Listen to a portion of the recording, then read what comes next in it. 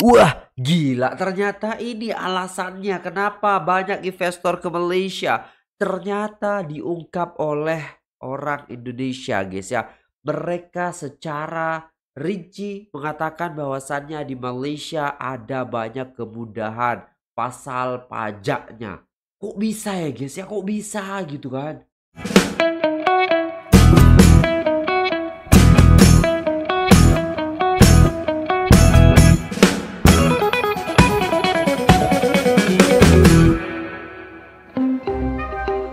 Assalamualaikum warahmatullahi wabarakatuh. Jumpa lagi dengan saya guys. Cak Mujib. Gimana kabar teman-teman? Semua Semoga sehat selalu dalam lindungan Allah Subhanahu Wa Taala Dijauhkan dari segala mara bahaya Malapetaka bencana dan balak Serta berbagai macam penyakit. Amin amin ya rabbal alamin.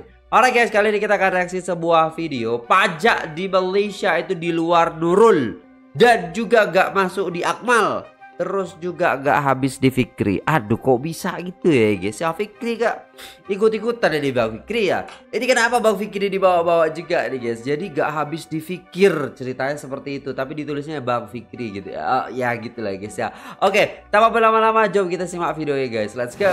Stop! Jangan bayar pajak sebelum kamu nonton video ini sampai habis. Waduh apa tuh guys? Kok bisa nih Pajak di Malaysia emang di luar nurul Kok oh, bisa guys Let's diversify your asset investments.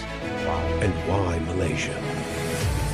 Did you know that many Indonesian investors have succeeded in multiplying their assets by investing in Malaysia? Until now, Malaysia is known as one of the best investment countries in Asia. Again, 20% bicara mengenai mengenai teks kita sama-sama tuh memang Singapura itu cukup mahal lah. Di di Malaysia sendiri berarti oke dong. Oke Episode kelima Kembali bersama dengan saya Merena Michelle, your Indonesian real estate expert. Hari ini kita kedatangan lagi founder dan co-founder dari Well Estate International. Hai, apa kabar? Halo, Winston, apa kabar? Nah, kalau kemarin di episode keempat, sorry, bukan keempat ya.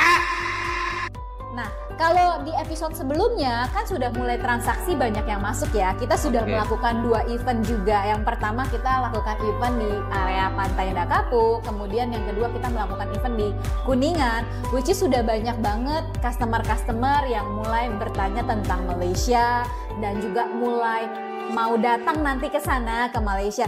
Nah, kira-kira saya mau nanya nih eh, Ciste atau Pak Winston, untuk teksnya bagaimana gitu loh? Kalau misalnya orang Indonesia beli di Malaysia, perihal teksnya, pajaknya, apakah Oke. akan bayar seperti yang di Indonesia atau lebih besar? Karena kita kan orang luar ya, anggapannya kita kan orang luar yang memang orang asing membeli unit, membeli apartemen, membeli hunian di Malaysia. Nah, Oh, kira-kira saya mau bertanya kepada Ciste dan Pak Winston, kalau orang Indonesia atau orang asing beli apartemen, beli rumah, beli hunian di Malaysia, kira-kira pajaknya gimana ya kalau kita mau beli? Hmm, ya, ya. Memang salah satu isu yang selalu dibawa sama pembeli itu kan, setelah saya bayar, saya beli asetnya, unitnya, terus apalagi yang saya harus bayar kan? Normalnya kalau di Indonesia, pastinya kan ada yang namanya pajak pembelian. Betul. Betul ya? Pajak jual beli ya? Nah, pajak jual beli pasti ada, ya kan? Eh, sometimes eh, melakukan notaril aja sudah ada namanya pajak quote and quote dari notaris gitu kan? Apakah itu untuk pemeriksaan berkas segala macam bla bla lah gitu kan? Nah, ini yang sering kali ada hidden cost yang kadang-kadang orang lupa. Apalagi kalau sudah masuk ke kredit Betul. gitu kan. Nah, kredit ini kan selalu jadi momok kan Betul. kelihatan Betul. plafonnya sudah oke, pada saat mau akad baru lihat-lihatan gitu kan. Kadang-kadang suami istri pada lihat-lihatan juga, eh ini duitnya gimana ya nih? Kan Kalau keluar biaya ini kan, sering kali kan muncul begitu. Betul. So, makanya di sinilah kita hadir, kami hadir gitu kan. Well Estate ini justru akan membantu teman-teman yang bertransaksi ini enak tidur. Jadi setelah Oke. belanja, setelah menaruh uangnya untuk menitipkan down payment, udah tidur nyenyak deh gitu. Oke. Kenapa? Karena kita buka secara gamblang. Ya, Oke. apa-apa saja sebetulnya. Satu yang pasti di Indonesia really easy, eh sorry, di Malaysia is really easy dan sebetulnya sangat ringan dalam teks. Wow. Betul. Sangat ringan dalam teks. Ringan yang dimaksud tuh seperti apa ya eh, Pak Winston atau Ci Stefan? Nah, kebetulan ya, Stephanie ini kan sendiri juga selain hybrid, ya pembelanjaan juga hybrid nih. Jadi Oh, pembelanjaannya aja, hybrid. Belanjanya juga hybrid. Nggak hanya Oke. beli produk di Indonesia, tapi juga banyak beli produk di Iya. Malaysia sendiri. Oke. Karena percuma dong konsultan kalau nggak pernah beli produk ya. Betul. You are betul. as a Indonesian Betul. person yang membeli unit, Assets membeli di- aset Correct. di, di Malaysia. Malaysia. ya. Ya. Wow. Justru yang menarik untuk saya untuk berinvestasi di Malaysia itu salah satunya adalah pajak. Iya. Ya, jadi contoh ya, kalau in the nutshell atau in the summary ya, Mer ya, kita beli properti di Malaysia, tidak ada pajak jual, tidak ada pajak beli. Itu satu. Wait, What? eh, tidak ada pajak jual, dan tidak ada tidak ada pajak, pajak beli. beli. Ini saya saya Betul. saya bingung Betul. nih. Nah, Di awal. Saya bingung banget. Beda ya. Ya. Beda Nah, banget. beda banget ya. Ya, jadi satu itu, dua yang ada di Malaysia itu adalah namanya kita ngomong eh, pindah nama ya nantinya. Oke. Balik Ya, pajak pindah nama itu ada satu. Mhm. Ya, kedua gain tax. Mhm. Jadi kita itu dipajak sama pemerintah Malaysia itu kalau kita ada profit waktu kita membuat investasi di sana. Jadi kalau kita tidak ada profit, kita tidak dikenakan pajak apa pun. Wow. Ya. Oke, for example, misalnya kita membeli aset 2 juta ringgit. Uh-huh. Betul. Kemudian pada perjalanannya amit-amit lah ya, amit-amit ternyata kita tidak gain, kita rugi, kita mengalami uh, loss satu juta delapan ratus ringgit. Berarti kita nggak bayar pajak. Zero tax. Zero tax. Zero Betul. tax. Oke. Zero tax. Berarti kalau misalnya yang namanya beli aset kita pasti profit. Semua lokasi pasti Exactly. profit. Makanya kita ngomong enak tidur. Iya, Betul, enak kan? tidur. Betul. Nah, beli di angka 2 juta ringgit misalnya. Kemudian kita jual di 2 juta 500 ribu, which is kita ada Untung Keuntungan 500. 500 ribu kan? profit 500 ribu. Berarti Betul. pajaknya hanya di 500 ribu Dikenakan di saja. Betul. 500.000. Ya. Itu pun masih ada Ya. keringanan-keringanan lagi. Betul. Jadi Karena tergantung waktunya. tergantung jangka waktu. Betul. Ya, misalnya kita beli properti A ya. Tahun 1 sampai tahun kelima kita udah jual nih. Jadi tahun ketiga kita udah jual. Nah, Uh-huh. itu tax kita kita dikenakan 30%. 30% dari Gain Keuntungan. dari gain. keuntungan. Dari Oke, ya. 500 ribu ya. Iya. dari 500 ribu. Tapi kalau saya nanti jual di tahun ke-7 atau tahun ke-6, itu tax saya cuma 10% dari 500 ribu. Gitu. Jadi benar-benar itulah yang kita bicara di Malaysia itu kenapa menguntungkan dalam segi investasi karena untungnya Oh. itu kelihatan dari angka yang kita jual berapa itulah untung kita. Ya. Agak beda ya. Kalau di Indonesia begini. Kalau kita mau jual rugi pun penjual ini kan pajak. harus bayar pajak Iya, kan? harus bayar Minimum pajak. Ada ya, pajak se- penjual NJOP kan? lah. Betul, Iya. pajak penjual dipatok NJOP plus Betul. gitu kan. Artinya keuntungan si penjual ini mau tidak mau harus terpotong minimum adalah pajak dari NJOP plus. Ya kan? Kalau penjual ini tidak mau terpotong, maka notabene harganya destel. Ya kan? Kadang-kadang ada penjual Ya. nggak rela nih, Nggak ya kan bahasa Inggrisnya bukan nih, ya kan? Yes. Eh, saya mau jual tapi, aduh, kehilangan dua setengah persen sayang banget ya, Betul. gitu kan? Akhirnya dia tahan tuh, negosiasinya alot, betul ya? Kalau negosiasi alot, waktunya panjang, eh ternyata transaksi di 3-4 bulan lagi, dia lupa. 3-4 bulan itu kan ada bunga. Kalau dia bisa transaksi tiga bulan lalu, sebenarnya kan dia udah gain bunga juga kan? Uh-huh. dan dia mundur 3-4 bulan, selain dia masih tetap harus bayar dua setengah persen di bulan keempatnya, dia sudah kalah bunga nih. Gara-gara bokamguan tadi itu, ya kan? Waduh, saya kena dua setengah persen. Itu satu, ya kan? Si sisi pembeli juga sama. Si pembeli ini kan dia harus membayar BPHTB. Ya kan, BPHTB yang eh, ya, nilainya juga sangat tergantung. Nah, celakanya di Indonesia kadang-kadang BPHTB ini nggak sederet sama nilai jualnya.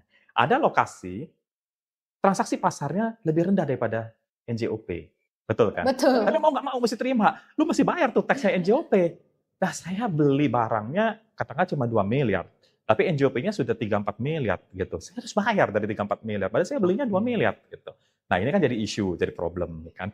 Nah, di Malaysia tidak ada seperti itu. Di Wow. Malaysia, eh, dia cuma kenal adalah yang namanya MOT. Jadi Memorandum of Transfer. Jadi waktu dia transfer namanya dari developer kepada first home buyers gitu kan, dari developer kepada Mary gitu kan. Nah, Oke. di sanalah akan ada namanya MOT tax gitu. Oke. Betul. MOT tax pun ini eh, semua langsung bisa dihitung diukur. Ya. Jadi nggak usah Ya. pusing NJOP-nya berapa ya di sini ya. oke. Wah celaka itu kalau saya belinya di Bangsar gitu kan, eh, saya taunya hitungan begitu, begitu saya beli Kuala Lumpur lain lagi nih. Oh. Ya kan Jadi- karena saya mesti hitung-hitung NJOP-nya berapa ini. Kalau di sana Sisi jadi kan? bayar MOT yang Pak Winston bilang itu jelas jadi dari rate SPA kita. Ya, dari sales and purchase agreement kita kita Oke. beli harga satu juta. Surat pesanan lah. Betul, surat Indonesia pesanan. bahasa. Ya, Ya, SP. ya. heeh. bukan surat Eh, Pesanan. surat pesanan. SPA itu sebetulnya eh, binding PPJ. Sebenarnya SPA itu PPJB. PPJB. Oh, Yes, oke. Yes, betul. Perjanjian Ya. pengikatan jual Betul. beli kalau di Pengikatan jual beli. Legal Ya. binding Betul, sebetulnya ya. between the seller and buyers. Betul. gitu. Oke. Jadi kalau namanya MOT itu, MOT di Malaysia itu, itu dilihat dari harga kita beli, rate-nya dari sana. Oh. Dan government Malaysia pun kasih satu exception, jadi keringanan juga. Di kurun range tertentu, ya kan dia punya tax itu cuma satu persen. Di atas ini dua persen, lebih dari tiga persen. Sehingga total total sebenarnya ringan. Iya. Katakanlah kalau kita beli properti ya satu juta ringgit gitu kan, the first 500,000 itu satu persen. Oh. Oke, first 500,000 Yes. 1%. The next one itu dua persen, Oke. ya kan? Nanti di atas itu sampai ke dua setengah juta tiga persen, di atas dua setengah juta dan empat persen. Oke. Jadi sebetulnya eh, Jadi ringan. av- ringan sebetulnya. lah ya, averagely kita bisa alokasi kira-kira 3 sampai 4 persen untuk pindah pindah nama. Kalau mau cadangkan Kalau lah mau ya, cadangkan ya, lah kita ya. mau cadangkan Iya. budget ya kita cadangkan Mhm. kira-kira 3 sampai 4 persen untuk eh, Ya, pindah nama. of course ya de- Oke. depends on the price lah yang kita beli Ya, berapa depends on the gitu price. kan. Oke, Ya. artinya Aha. berarti eh, yang seperti Ci Steffi maksud 3 sampai 4 persen kira-kira biaya yang harus dikeluarkan sama kita kalau Mm-mm. kita ingin menjual unit tersebut. Bukan Pindah nama. pindah nama. Dari developer Oh, sudah selesai nama. handover, dikeluarkan sertifikat atas nama Mary. Oh, berarti Oh. jadi dari developer ke kita yang mau beli Yes. ada kira-kira 3 sampai 4 Betul. persen. betul. Oke. betul. Nah, kalau kita ternyata kita mau jual Hmm. di tahun ke tiga tadi lah Mhm. atau tahun kelima, kira-kira berapa biaya yang harus eh, dibayarkan sama kita sebagai eh, penjual yang sudah pernah membeli di developer? Jadi ini kan ceritanya Gain biaya pengalihan kan. Biaya pengalihan kita Iya, sebutnya biaya pengalihan. gain tax. Di sana tax. itu tidak kenal biaya pengalihan. Tidak ada. Nah sebetulnya, itu, Iya. gitu kan? Di sana terjadi adalah gain tax. Jadi Gain waktu tax. kita jual itu posisi kita jual itu adalah posisi keuntungan berapa. Betul. Oh. Itu yang Betul. akan menjadi beban pajaknya nanti. Iya. Oke, for example Gitu. tadi eh, 2 Dua. juta kita ringgit, eh, 2 Iya. juta ringgit kita beli, Uh-huh. kemudian kita jual Jual di 2,5 2 juta kan? ringgit, Iya, tadi berarti kan, ada tadi 500 berarti kan. ribu. Iya, itu Betul, taxnya itu betul. 30 persen. Jadi 30% 30 persen dari dari 500 ribu. Oh, which is berarti Wow. kurang lebih Ya. sekitar eh, 15 Ya, ribu karena kan saja ya. assume kita kita jualnya ya assume-nya kan kita jualnya masih below 5 years lah ya. Betul, kan? ya. Nah, Karena, karena kan- jual tahun ketiga kan. Ah, ah, kita Tapi pikir ya sudah kita ambil spread sedikit jual, spread sedikit jual gitu Ya. kan. Ya.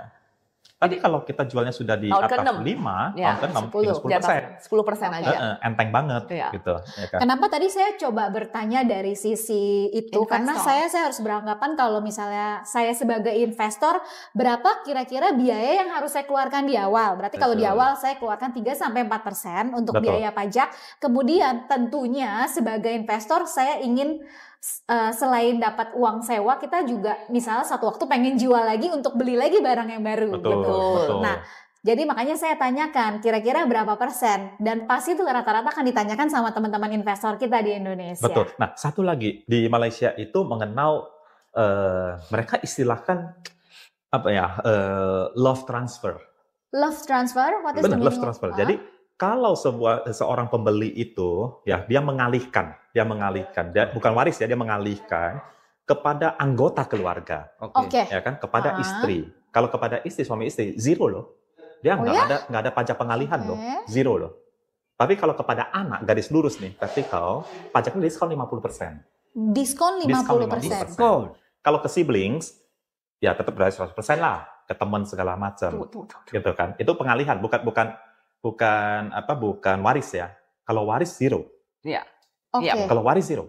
Jadi beda ya. Oke. Pengalihan berarti kan kita menjual nih, Iya, saya iya. menjual gitu kan. Ya udah, karena anak sudah dewasa saya jual ke anak gitu. Saya Oke. ngalihkan kepada anak gitu kan. Pajak pengalihannya itu dapat diskon. Tapi bukan waris ya. Tapi kalau saya wariskan, saya bikin will, saya wariskan zero. Kalau di Indonesia kan kalau waris kena ya. Iya. Tetap kena. Iya. Kita Nah, di ya. Indonesia memang untuk Ah. eh, apa pengalihan hak waris tetap dikenakan pajak. Betul, Iya. betul. Jadi legacy tax di Malaysia itu zero. Mhm. No legacy Wow. tax, no inheritance tax. Wow.